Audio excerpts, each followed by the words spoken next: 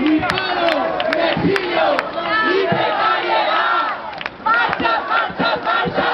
¡De la dignidad! ¡Ni paro! Ni...